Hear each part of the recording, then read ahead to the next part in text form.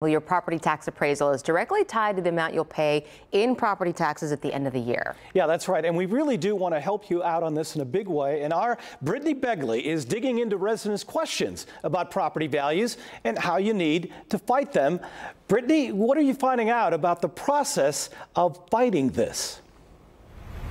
Well, you know, the most interesting thing I learned today is that half the people reviewing your claim are analytical. The other half, they want to see those visuals. So taking pictures can actually lead to more empathy, which could actually help you with your claim. Of course, I think we can all agree. We all have questions because it is quite complicated. So we spoke to a first time homeowner to find out his questions about property value and taxes.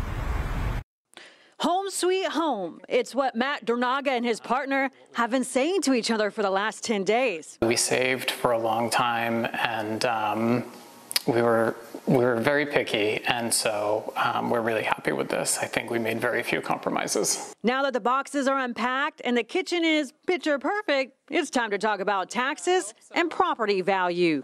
Actually, I was talking to my husband just the other day and I said, what was the thing that the guy at the title company said that we had to do for taxes? I cannot remember what it's called. I think it was the homestead um, thing. We took Matt's questions to Michael Berlanga, a real estate broker and senior property tax consultant, to get answers. You've got over 65 uh, benefits. You have disabled veterans at, at partial to full uh, disability, and you have the surviving spouses of disabled vets. As a homesteader, you still have a 10% year to year cap, regardless of whether your house doubles in value. And if you own a business, your business property can only go up 20% for tax purposes. It can be doubled in value. Turns out in this case, homestead wouldn't apply. If you look around, you see homes that are new construction and homes that look like they've not been renovated since they were built 80 years ago. So it's, it's, uh, it's an interesting sort of uh, area right now. Experts say this does play a role in your property value, and you could always see the properties the appraisal district is using by filing a protest.